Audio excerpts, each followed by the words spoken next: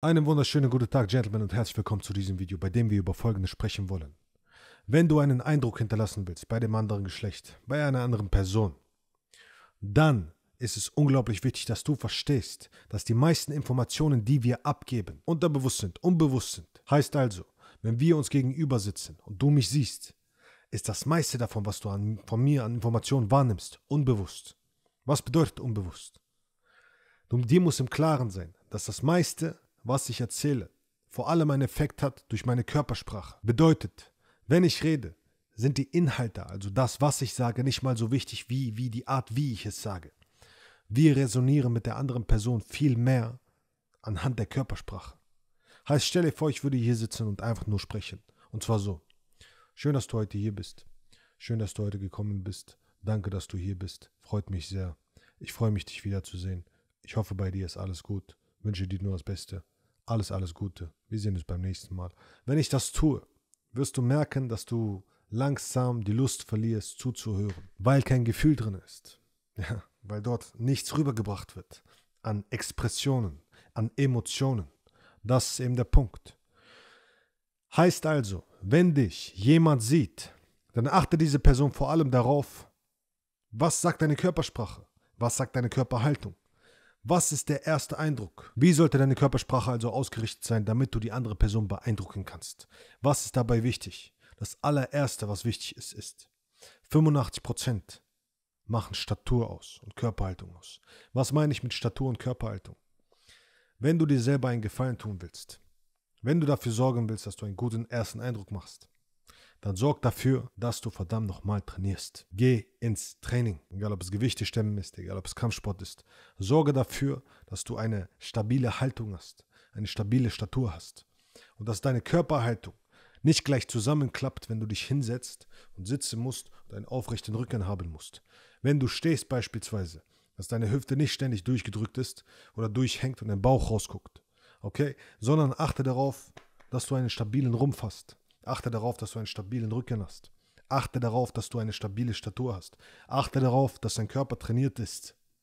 Denn das wird einen Großteil der Arbeit für dich erledigen. Weiterhin, der zweite Punkt, extrem wichtig, dass du kongruent bist und Überzeugung in dem hast, was du sagst. Es gibt da draußen sehr viele, die dir vielleicht diese Techniken beibringen, wie du jemanden ansprechen sollst und all das.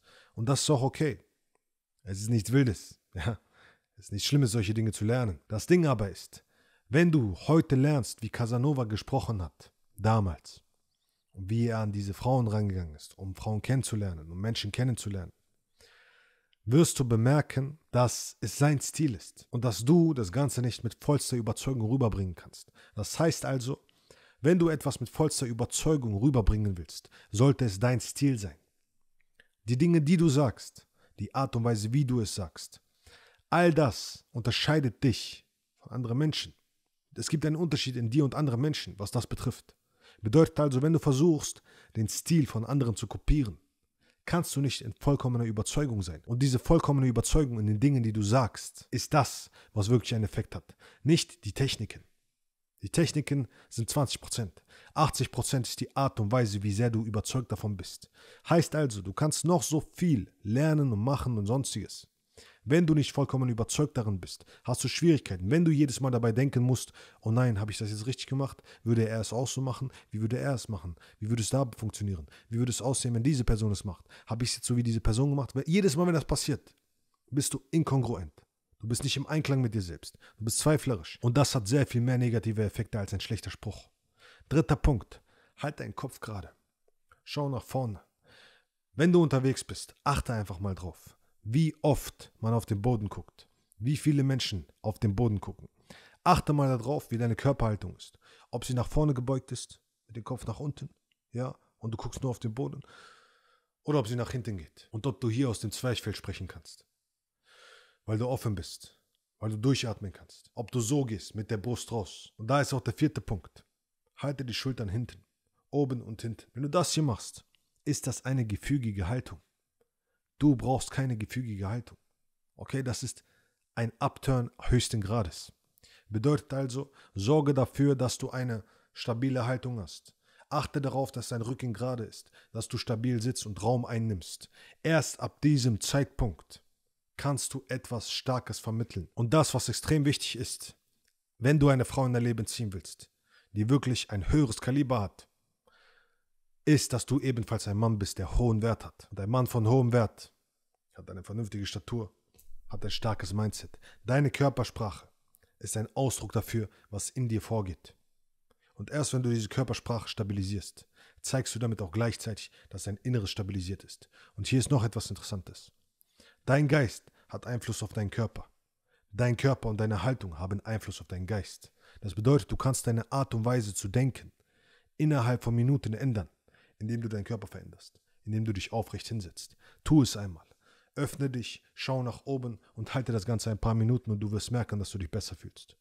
So mächtig ist unser Körper. Heißt also, sei dir bewusst darüber, was für eine Körperhaltung du über den ganzen Tag hast. Sei dir bewusst darüber, dass du an dir arbeiten solltest, trainieren solltest, dass du daran arbeiten sollst, einen starken Körper zu haben, damit du einen gewissen Ausdruck hast, eine gewisse Ausstrahlung hast. Und dann wirst du merken, dass du kein Problem damit haben wirst, mehr Anziehung aufzubauen. In dem Sinne, ich hoffe, diese Informationen konnten dir weiterhelfen. Wenn du bereit bist, das Ganze in Angriff zu nehmen, einen maskulinen Frame zu etablieren, deine Kommunikation zu meistern und somit Anziehung aufzubauen, sodass du endlich wahre Liebe in dein Leben ziehen kannst, dann bewirb dich für ein Erstgespräch. Der Link dazu ist unten in der Beschreibung. Ansonsten, wenn es Fragen gibt, rein in die Kommentare damit. Und dann sehen wir uns beim nächsten Mal. Let's go.